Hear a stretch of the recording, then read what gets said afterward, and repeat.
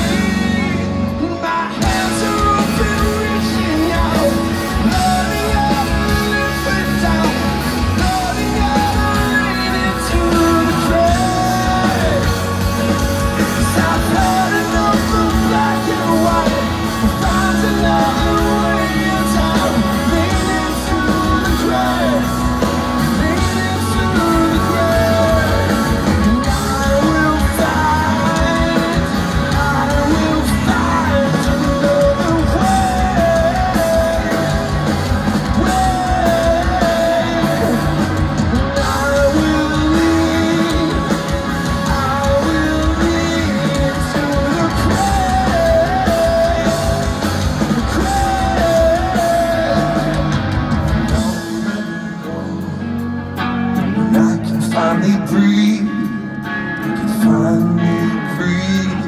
Black and white